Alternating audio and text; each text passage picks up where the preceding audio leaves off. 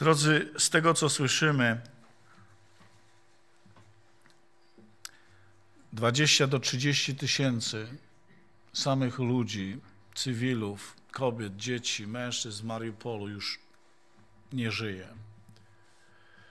Są to, że tak powiem, przerażające liczby. E, to jest tylko Mariupol.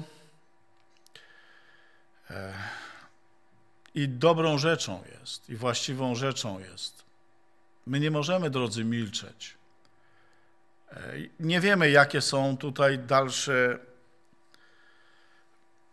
plany w tym wszystkim, Boże wyroki, ale powinniśmy się modlić o pokój, wołać za tym krajem. Co by było, gdyby nasz kraj był tak bezpośrednio dotknięty? Nie wiem, czy wołalibyśmy w ogóle za naszym krajem, czy. Ale też potrzebujemy się modlić i prosić o Bożą ochronę dla naszego kraju. Wiecie, wystarczy mała iskra.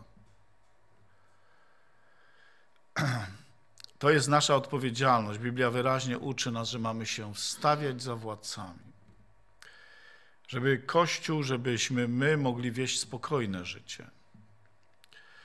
E, kiedy słyszeliśmy ten psalm 92, piękny psalm, e, jeszcze gdzieś tam wiele, wiele dziesięcioleci słyszałem, jak chyba jakiś brat ze Stanów Zjednoczonych, gość, w Apienicy, jeszcze w tym starym budynku, głosił na temat tego psalmu.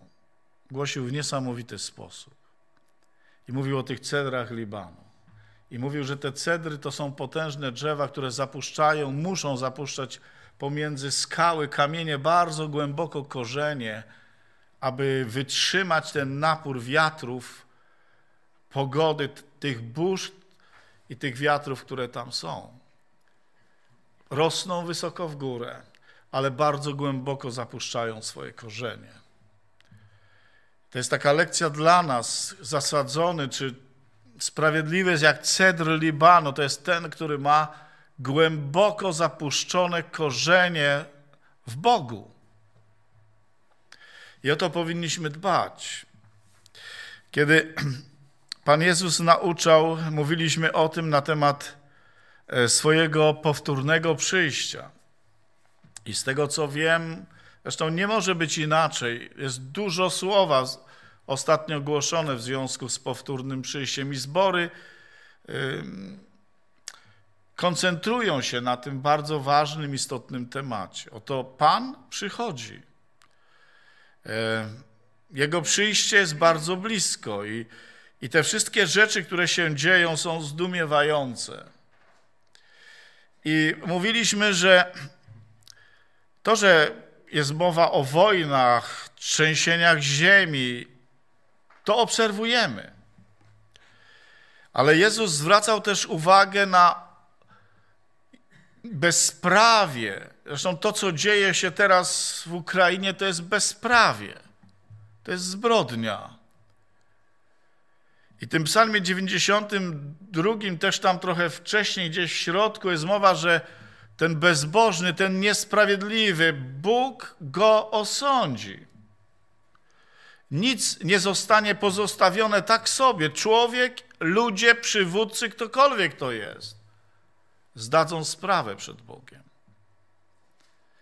I to bezprawie będzie coraz większe w dziedzinie moralności, relacji międzyludzkich i to bezprawie, ta bezbożność będzie próbowała się wcisnąć do Kościoła. Zresztą to jest taka korelacja świat i Kościół, Kościół i świat.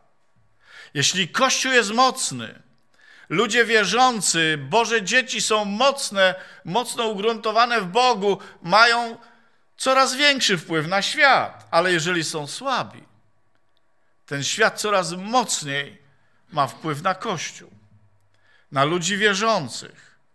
I to bezprawie i ten styl bezbożności niektórzy próbują przejmować, jakby nigdy nic.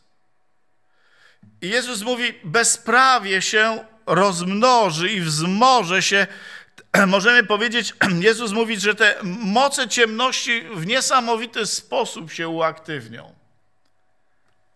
Dlatego musimy być czujni. E, te moce ciemności będą zalewać coraz bardziej świat i ludzkość wszelką nieczystością i nieprawością. Nie wiem, czy to jest prawda, ale dostałem taką informację, że gdzieś tam w Moskwie, na placu, nie wiem, czy tym takim, wiecie, tym głównym, zebrały się, zebrali się czarownicy i czarownice, aby przeklinać narody. A z drugiej strony mówię tak, nie wiem, czy to jest fake news, czy to jest prawda, ale z drugiej strony bym się kompletnie nie zdziwił. Dlatego, że już od dziesięcioleci, od bodajże połowy XX wieku,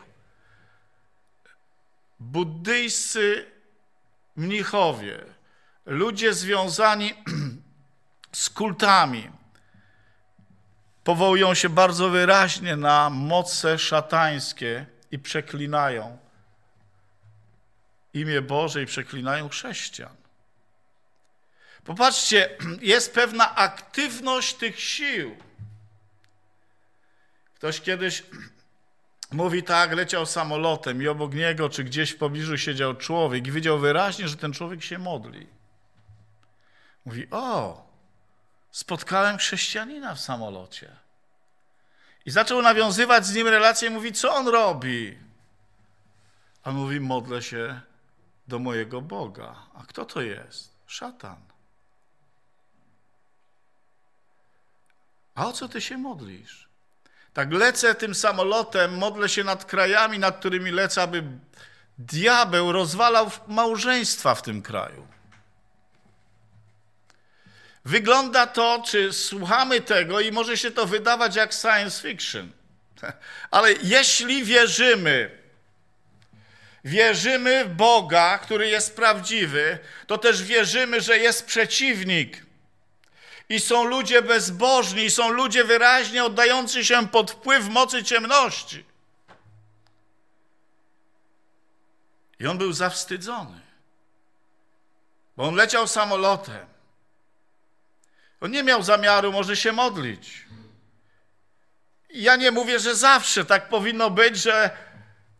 Ale rozumiecie, jest ktoś, kto jest przeciwnikiem i poświęca czas i uwagę. Pytam się, gdzie są Boże dzieci, gdzie jest Boża armia, gdzie są chrześcijanie? Czy, mają, czy my mamy świadomość toczącej się duchowej walki? Nie zapomnę, jak jechaliśmy w 85 albo bodajże w 86 roku z Anglii do Polski. Wracałem razem z, z pastorami, z kaznodziejami z Anglii kilkoma. Oni jechali na seminarium do Ustronia. Pamiętam te mury i te wieżyczki, które oddzielały DDR od RFN to wydawało mi się, że to jest kosmos. Jak jechałem już w tamtą stronę, to jest niemożliwe. Potężne betonowe ściany, wieżyczki, karabiny maszynowe, druty kolczaste. Po stronie tych takich, co wolność niosą. Nieśli wtedy. A później wjechaliśmy do tej, do tej, na tą drugą stronę i nie mogłem uwierzyć kolorowo, żadnych zasieków. I pamiętam, wracaliśmy i byliśmy pobudzeni przez Ducha Świętego, aby się modlić. Ten bus był za mały prawie, że dla nas tam, bo wołaliśmy do Boga. W imieniu Jezusa gromiliśmy te duchy ciemności, te duchy komunizmu, które wiązały Europę Wschodnią. I wołaliśmy i prosiliśmy, aby komunizm upadł aby te kraje były wolne. Może ktoś powie, dziwni są ci ludzie, ci chrześcijanie. Ale ja jestem przekonany, że toczymy duchową walkę na różnych płaszczyznach i nie może nam być obojętne, co się wokół nas dzieje. A więc tajemna moc nieprawości działa. Pytam się, jaka jest świadomość Bożego ludu, nasza, moja, Twoja? Czy rozumiemy, co się dzieje w tej duchowej rzeczywistości? Bo co może pokonać, czy co może postawić tamę tej, tej, tej mocy nieprawości? Ja myślę, że jedną z tych rzeczy jest Kościół, pełen Ducha Świętego. Kościół modlący się. Kościół, który ma świadomość autorytetu, jaki jest mu dany w imieniu Jezusa Chrystusa. Kościół, który modli się z wiarą i z przekonaniem. I kiedy Jezus mówi o tych czasach ostatecznych, kiedy mówi o tej bezbożności, kiedy mówi o tej nawale działania sił ciemności, mówi wie, miłość wielu oziębnie. Miłość wielu oziębnie. I wcale tu nie chodzi o świat. Chodzi o nas. Miłość nie jest bierna, jest aktywna. Możemy powiedzieć, fantastyczne rzeczy możemy oglądać dzisiaj w naszym kraju, jak Polacy sami uruchomili niesamowitą energię miłości, troski o tych, którzy jej potrzebują.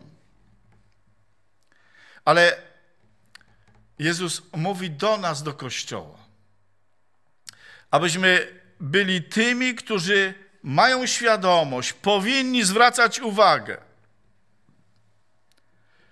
aby Boża miłość wypełniała nasze serca. Nic nie jest w stanie tak bardzo stępić ostrza przeciwnika jak miłość Boża. To miłość Boża łamie, kruszy serca człowieka. I wielu z nas może powiedzieć, gdyby nie Jego miłość, nie byłoby mnie dzisiaj tutaj. Ale Jego miłość poruszyła mnie, skruszyła mnie i sprawiła, że poddałem się Bogu i uznałem, że jest moim Bogiem i moim Panem. Jezus mówi w tych czasach ostatecznych i coś, co będzie miało wpływ i będzie dotykać Kościół. I tam jest napisane, że brat wyda brata, że będą się nawzajem nienawidzieć, bo będzie wielkie prześladowanie wielki nacisk. I znowu nie mówię tego, żeby wzbudzić w nas strach.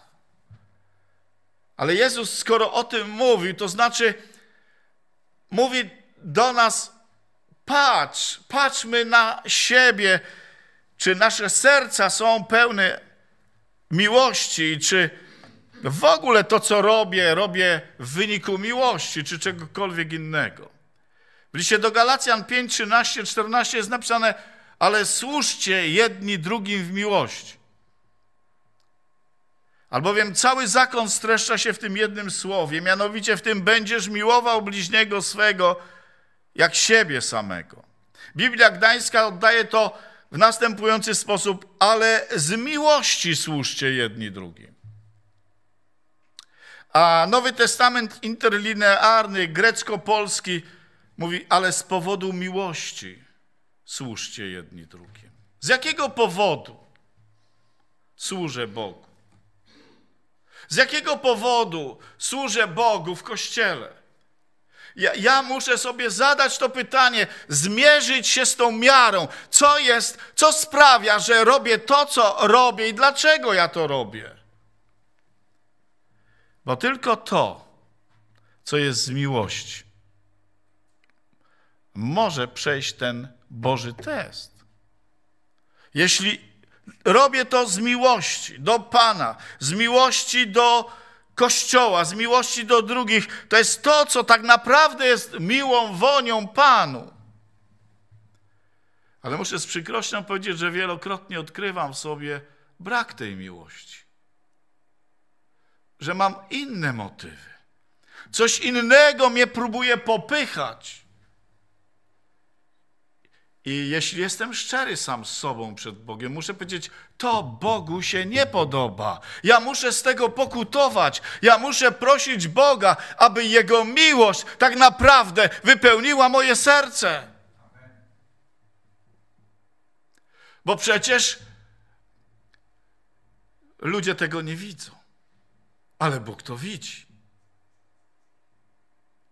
Wiecie, kiedy Pan przemawia do zborów w objawieniu, przemawia do pierwszego zboru, do zboru w Efezie, wielokrotnie żeśmy o tym zborze czytali, to jest drugi rozdział objawienia i posłuchajcie, co tutaj jest napisane. Do anioła kościoła w Efezie napisz.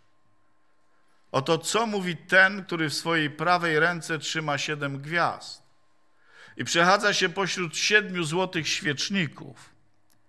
Wiem o Twoich czynach, o trudzie i wytrwałości. Wiem też o tym, że nie możesz znieść złych oraz że poddałeś próbie ludzi, którzy się podają za apostołów, a nimi nie są. I odkryłeś, że to kłamcy. Masz też wytrwałość. Wiele zniosłeś dla mojego imienia i nie uległeś zmęczeniu. Lecz mam coś przeciwko tobie. Porzuciłeś, dosłownie oddaliłeś się od swojej pierwszej miłości. Przypomnij sobie, skąd spadłeś. Opamiętaj się, wróć do pierwszych czynów, bo jeśli się nie opamiętasz, przyjdę do ciebie i ruszę twój świecznik z jego miejsca. Na swoją obronę masz natomiast to, że czujesz wstręt do postępków Nikolaitów, ja również brzydzę się nimi. Kto ma uszy? Niechaj wysłucha, co duch ogłasza kościołom. Temu, kto zwycięży, właśnie jemu pozwolę spożyć z drzewa życia, które rośnie w raju u Boga. Kiedy czytam ten list, to prorocze słowo do zboru w Efesie, powiem wam za każdym razem, mówię, Boże, jak to jest? Tak wiele plusów jest w tym zborze. Tak wiele fajnych rzeczy, tak wielka dojrzałość, determinacja, trud, wysiłek. Ale Pan nie jest zadowolony. Mówi jedną rzecz. Ostygliście w miłości do mnie. Oddaliłeś się od miłości. Drodzy, ja wiem, że musimy prosić Pana, aby Bóg wypełnił nas Bożą miłością, nie taką, wiecie, gdzieś tam naszą tylko, jakimś postanowieniem, chociaż to jest ważne. Ale prosić, Boże, napełnij moje serce miłością. Miłością do Ciebie, miłością do bliźnich. Możemy się modlić o to, żeby Bóg wylał na nas swoją miłość, abyśmy Go bardziej kochali? Ja myślę, że tak. Ja potrzebuję się modlić, Boże, niech ta rzeka Twojej miłości z Twojego tronu serca na nowo przeleje się, wypełni moje wnętrze. I to jest miłość do Boga i miłość do Kościoła, do ludzi. Bo tu jest napisane tak wyraźnie: z powodu miłości służcie jedni drugim. Nie z innych powodów, ale z miłości. Dlatego, że kocham Pana. Kocham Kościół. Kocham ludzi. I kocham też tych, którzy są na zewnątrz. Ale jakby pierwszą rzeczą, prawda, na pierwszym miejscu po Bogu jest ta, ta miłość. Oczywiście do bliźnich, na początku do żony, dzieci, a później Kościoła. Tak to wygląda. I Pan mówi: Ja to wszystko widzę, ale popatrzcie, zwraca pewną uwagę, abyś czynił jak poprzednio. Jezus widzi, że oni coś dalej robią, ale coś już brakuje tym uczynkom. Brakuje tego fundamentu miłości do Boga i do innych. I Pan mówi: Musicie to skorygować. A więc muszę badać samego siebie, bo Pan wzywa mnie, abym służył drugim w Jego miłości. To słowo, tu jest to, to słowo agapao, miłować, kochać. Słowo, które podkreśla naszą wolę, nie emocje. Bo wiecie, nasze emocje są bardzo chwiejne. Dzisiaj coś do kogoś czuję bardziej, prawda? On taki był dzisiaj miły dla mnie, no to ja też tak, ale to nie jest o tą, nie o tą miłość chodzi. Bóg mówi, że bez względu na to, czy ktoś stara się być miłym, czy nie, i to sprawia nam trudność, my mamy miłować. Kiedy patrzę na Boga, to jest napisane, że Nowy Testament mówi o Bożej miłości. Miłość Boża. A w innym miejscu list do Rzymian w ósmym rozdziale jest o miłości Chrystusowej powiedziane. A spaja to Duch Święty. W piątym rozdziale listu do Rzymian jest napisane, że miłość Boża, ta Chrystusowa, rozlana jest w sercach Bożego ludu przez Ducha Świętego. Halleluja. A więc Bóg mówi: Ja chcę wypełnić Was miłością. Oczywiście mogę Bogu na to pozwolić, albo mogę się oprzeć. Mogę postawić zaporę. Nasza społeczność z Bogiem jest społecznością wolności. Diabeł, jeśli kogoś chwyci, to zmusza do robienia tego, czego on chce.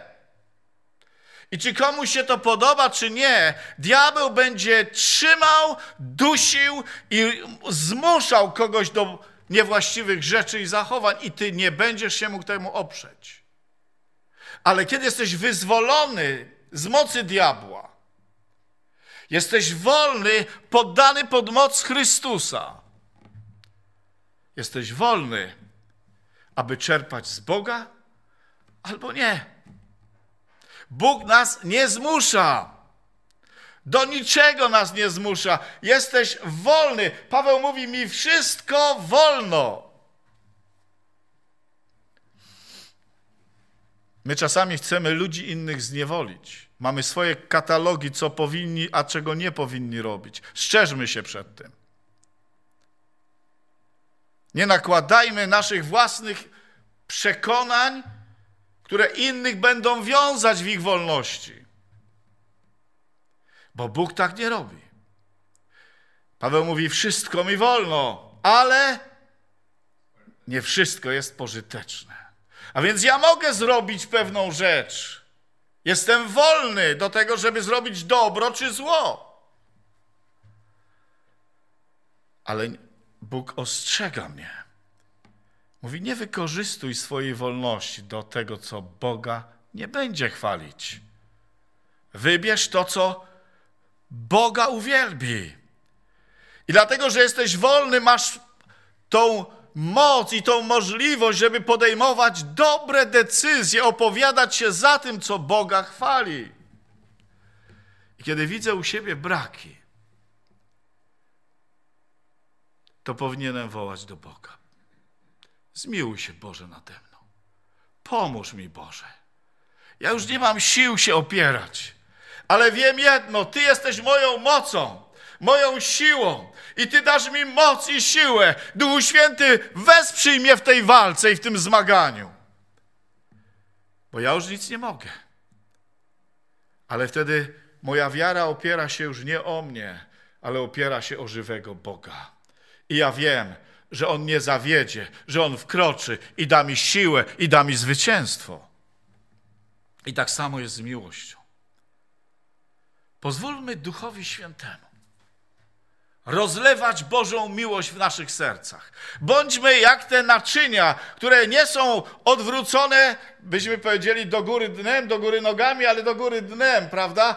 I chociaż ta miłość może się lać, i tak będziesz bez miłości.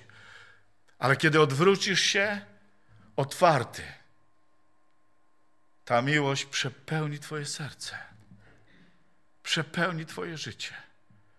Jestem przekonany, o to, o to Bogu chodzi, że On chce napełniać swoje naczynia, którym Ty i ja jesteśmy, swoją miłością i mocą Ducha Świętego. Jeśli kto pragnie, mówi Jezus, niech do mnie przyjdzie i pije. I rzeki wody żywej, z rzeki wody żywej popłyną z jego wnętrza. O Boże, napełnij nas swoją miłością. Tak, żebyśmy musieli zawołać: Panie, ja już tego nie mogę znieść z powodu obfitości miłości. I wtedy będziemy patrzeć na Boga inaczej, na siebie inaczej, na ludzi w tym świecie inaczej i będziemy robić i służyć Bogu w oparciu o to, ze względu na to, że On jest na pierwszym miejscu w naszym życiu i Jego umiłowaliśmy i Jego miłujemy. Powiedziałem, cała Trójca zaangażowana i jest miłością. I Ojciec i Syn i Duch Święty. Przecież Jan napisał w swoim pierwszym liście, tylko on to zapisał. W czwartym rozdziale, wierszu ósmym, Bóg jest, pamiętacie? Bóg jest miłością. Bóg jest miłością. A więc chcę być otwarty, chcę prosić Boga. Wiecie, to nie stanie się bez naszego pragnienia i bez naszego szukania i bez naszej modlitwy i bez naszego wołania, Panie, przyjdź ze swoją miłością. Zresztą, kiedy On przychodzi, to zawsze przychodzi z miłością, bo jest miłością. Ale musi nam na tym zależeć. Bóg dał cudowny sposób, dowód swojej miłości do każdego z nas. Apostoł Paweł w piątym rozdziale listu do Rzymian, wierszu ósmym mówi, że,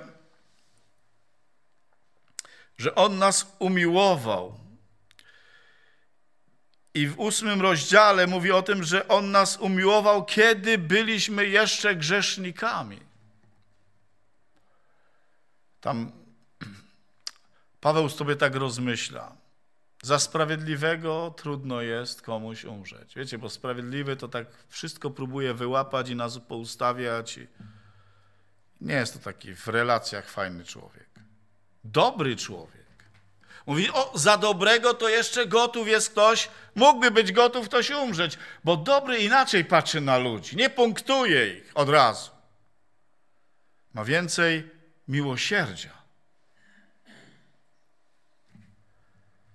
Ale Jezus umarł za nas, gdy byliśmy wrogami, nieprzyjaciółmi, pełni brudu, nieczystości. Chrystus z miłości do nas, do Ciebie, do mnie oddał swoje życie za nas. Gdy byliśmy jeszcze grzesznikami. Więcej, On wiedział, którzy odpowiedzą na Jego Ewangelię, a którzy nie. I nie jest napisane, że umarł tylko za tych, którzy pozytywnie się do niego odniosą. Biblia mówi: umarł za wszystkich. Halleluja. Za wszystkich. Za wszystkich. Aby każdy, kto w nim położy ufność, kto mu zaufa, kto jemu uwierzy, mógł być uratowany, mógł być zbawiony. Tak więc w tym, tych czasach ostatnich, kiedy wszystko się wali, wszelkie normy, wszelkie zasady. Kościół powinien stać twardo i mocno w prawdzie. W prawdzie, w miłości, jedności. Bo to jest świadectwo dla ludzi z zewnątrz o tym, że Bóg jest. Dlatego Biblia mówi o tym, że miłość złego nie wyrządza, że miłość znosi. A w liście do Koryntian, pierwszym, 16 rozdziale, wierszu 14, Paweł pisze tak: Wszystko niech się dzieje u Was w miłości. Wszystko. Drodzy, ja wiem, że my to wszystko znamy. Ale Słowo Boże wyraźnie mówi, naucza nas, że mamy przypominać sobie pewne rzeczy, prawdy. Tak jak wiele tych złych rzeczy ciągle nas atakuje, my musimy odnawiać, odświeżać sobie prawdy. Zbór w Koryncie, taki charyzmatyczny, ja bym się cieszył, jakbyśmy byli coś przynajmniej trochę z tej charyzmatyczności byśmy mogli wziąć z tego zboru z Koryntian. Ale tylko tej charyzmatyczności, nie tej cielesności. Bardzo charyzmatyczny. Ale jak wielki brak, deficyt miłości. Jak wielki deficyt miłości w tym zborze. Że Bóg ten zbór wziął i tak usunął? Nie. Pracował nad nimi. Mówił do nich, wzywał ich, napominał ich. No bo przecież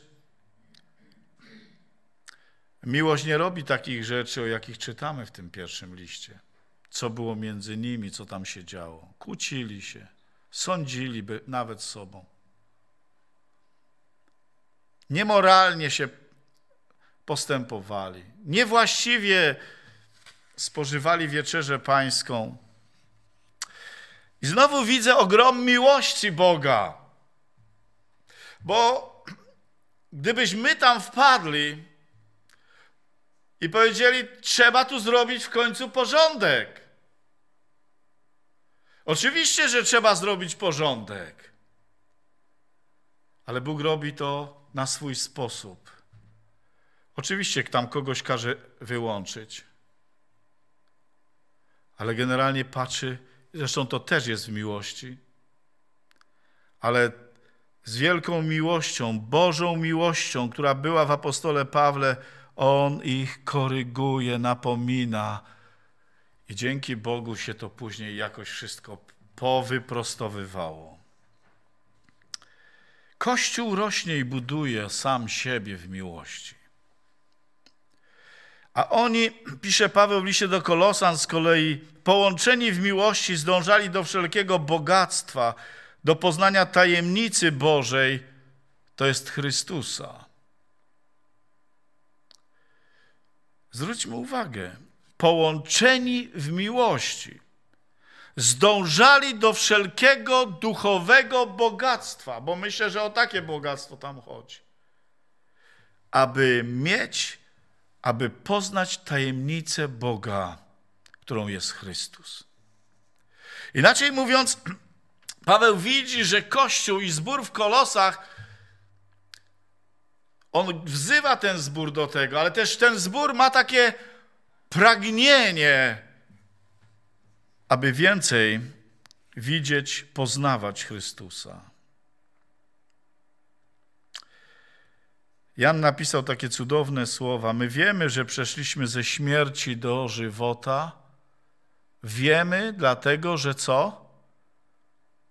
Po tym poznajemy, że przeszliśmy ze śmierci do żywota, bo miłujemy braci. Wiecie, jeżeli człowiek zostanie wyrwany z duchowej śmierci staje się Bożym dzieckiem. Ja nie wierzę, żeby on nie zmieniał swojego nastawienia do swoich braci i sióstr, żeby w nim nie była miłość taka od Boga w jego sercu i żeby on też nie pragnął tego, aby tej miłości było więcej i więcej. I on będzie to wyrażał i czynem, i w prawdzie, i słowem, w każdy spo możliwy sposób. My wiemy, że przeszliśmy ze śmierci. Przedtem nawet bym się nie pochylił, nie skierował swojego wzroku, uwagi na kogoś. Ale teraz dlatego, że Bóg mnie zbawił i mnie umieścił w swoim kościele, daje mi swoją miłość do siebie i do innych. Po tym poznaję Między innymi po tym, że przeszedłem ze śmierci do życia. Umiłowani, miłujmy się nawzajem, gdyż miłość jest z Boga i każdy, kto miłuje, z Boga się narodził i zna Boga. Kto nie miłuje, nie zna Boga, gdyż Bóg jest miłością. Mówimy to w kontekście czasów ostatecznych. Miłość wielu oziębnie w tym ostatecznym czasie. Mówimy to po to, aby wiedząc o tym, aby mógł przyglądać się sam sobie i zadawać sobie pytanie, czy jak to wygląda w moim życiu, w moim sercu? Czy już oddalam się? Jestem oziębły w tej miłości?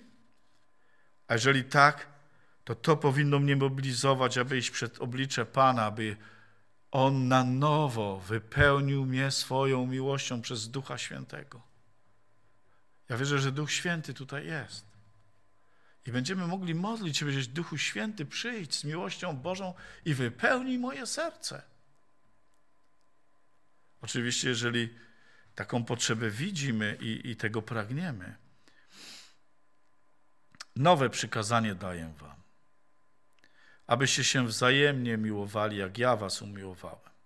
Abyście się i wy wzajemnie miłowali. Po tym wszyscy poznają, że jesteście uczniami moimi, jeśli miłość wzajemną mieć będziecie.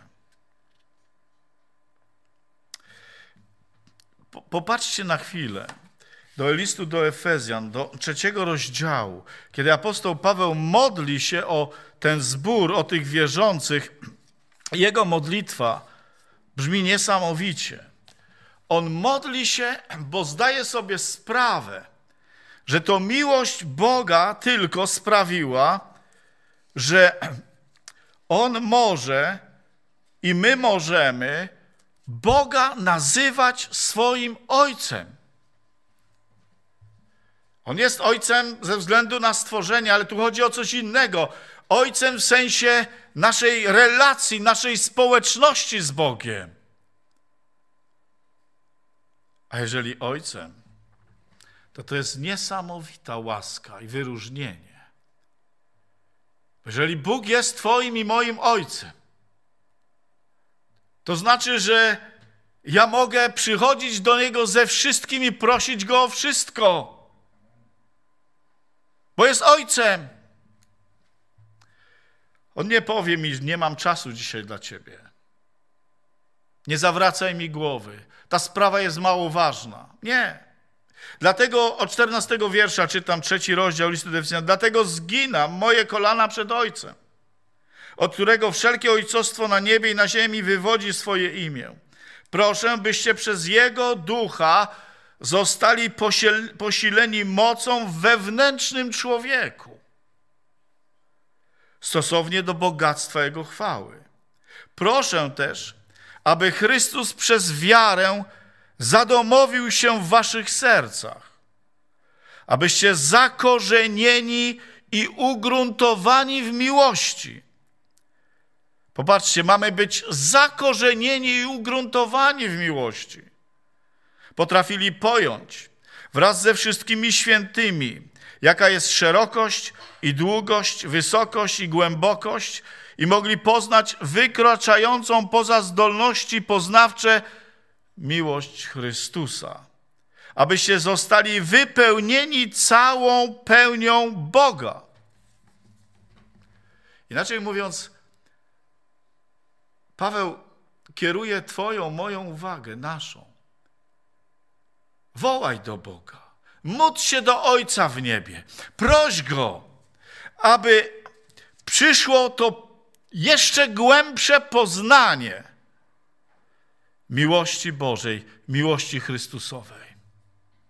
I wtedy będziesz mógł zobaczyć, będziesz doświadczysz wypełnienia całą pełnią Boga. Mówi, ja się modlę do Ojca. Ja zginam przed Nim kolana. Ja chcę, żebyście mieli objawienie Chrystusa głębsze i głębsze. Abyście zobaczyli, jaka jest ta, ten czterowymiarowy obraz Bożej miłości. Szerokość, długość, głębokość, wysokość. abyście mogli zgłębiać tą miłość Bożą. I muszę powiedzieć, jeżeli Duch Święty nam tego nie objawi, tego nie zobaczymy.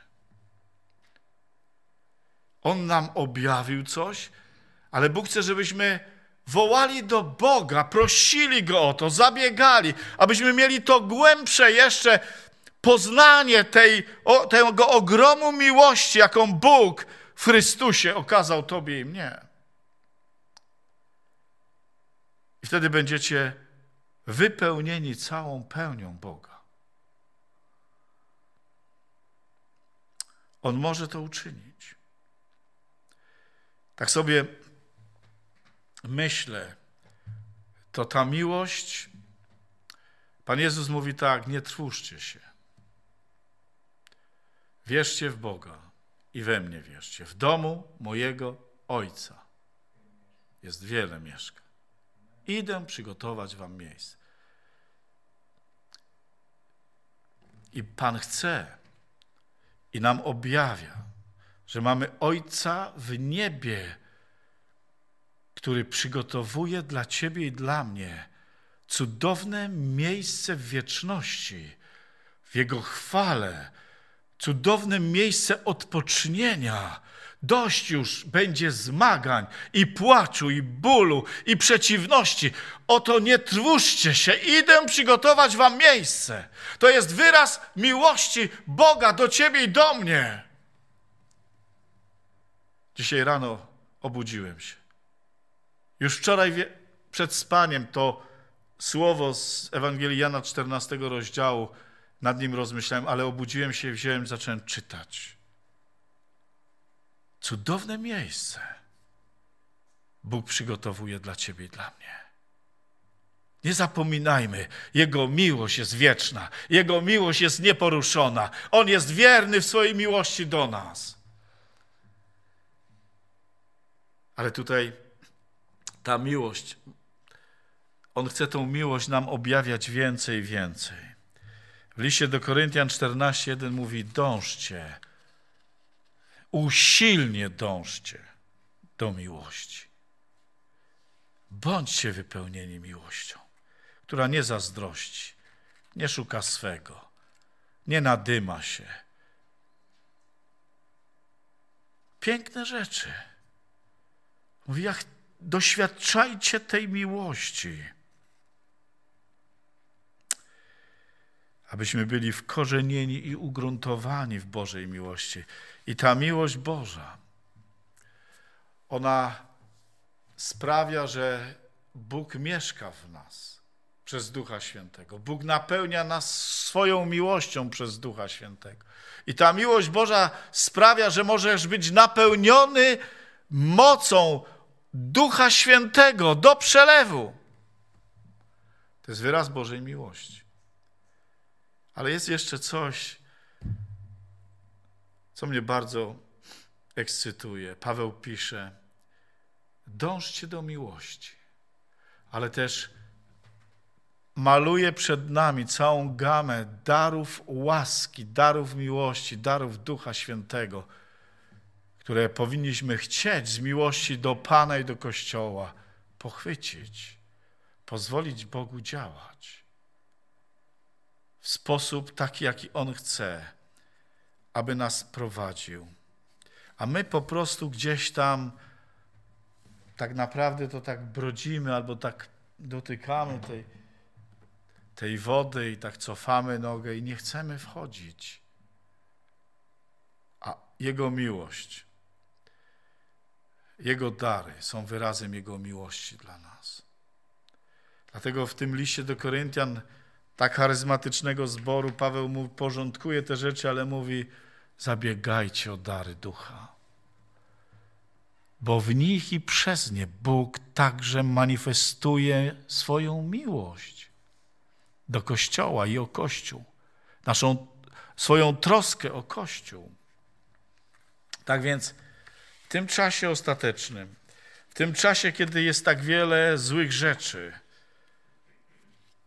Kościół, Ty i ja mamy dbać, aby nasze życie duchowe, nasze serce, nasze wnętrze nie doznało uszczerbku.